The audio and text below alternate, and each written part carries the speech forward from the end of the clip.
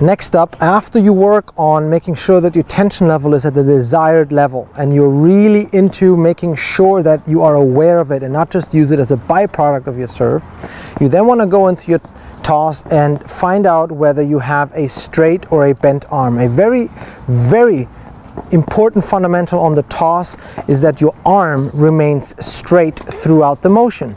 And that is simply because without a straight arm, it is very difficult to get the correct release level over and over again. But also the tension level, as we just previously spoke about in the, in the last video, um, the tension level will be likely much higher if your arm is bent because you're not throwing from your shoulder, you're not tossing from your shoulder as you should, but you're actually involving your elbow and sometimes also the wrist. So a very, very important um, concept is a straight toss arm. And the best way to do that, although you will see some good players having a bent arm at the beginning, we want to get into that straight position before the tossing motion itself begins. Okay, that is highly important. So let me show you right here um, what I want you to accomplish. For this exercise right here, I want you to make sure that you have that straight arm and you keep that arm straight until it's all the way at the top of that ex, uh, top of the release okay? So I don't want you to be in this position right here.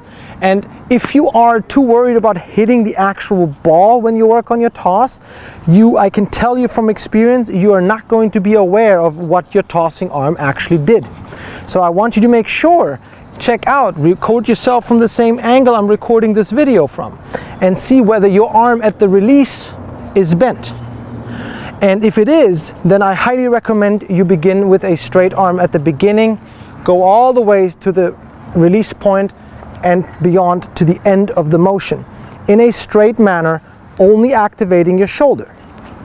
You do not want this, okay? Because once the arm is bent, very few people continue to lift the arm, which will then cause other issues on the serve. But I want you to be very aware of a complete and calm motion because you have a totally straight toss arm. Okay, so let me show you a corrective drill after I show you a side-by-side -side of how to do it correctly and incorrectly. Let me show you what I want you to pay attention to for this particular part of the toss.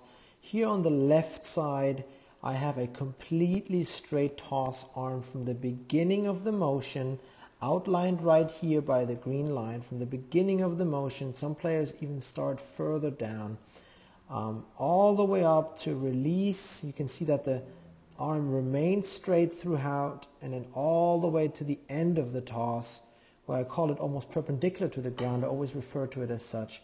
And that you maintain that straight arm throughout and basically only activating your shoulder to place the ball where you want to make sure you connect with it. Okay, and then as a result, it is a very easy type of serve in relation in, regards to how much effort goes into putting the ball in the right place. So having a straight arm is incredibly important and it's something you really want to make sure you pay attention to. Let's take a look here.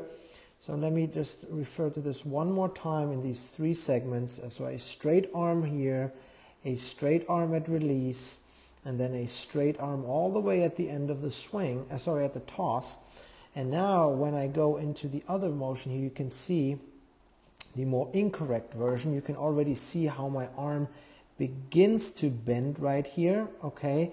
And that's most likely the case. Players who have a bent arm likely don't start with a straight arm.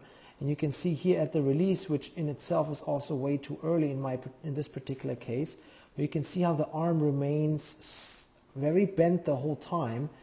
And, and, and it's very, very difficult to control the toss that way. Even in this particular example here, you can see that the toss goes much higher. It goes outside of the frame. And that's because I'm abrupt and I'm, I'm, I'm, not, I'm not following the toss all the way, okay? So, and, and that is the most important part for this particular clip here, that you pay attention to whether you begin with a straight arm and as outlined right here. You want to start with a straight arm. You don't want to try to um, straighten it out somewhere in between the beginning and the end of the tossing motion. But the chances of you being successful at a consistent toss is when you begin and maintain a straight toss arm throughout. And here are the main differences right there outlined one more time. A bent arm versus a straight arm.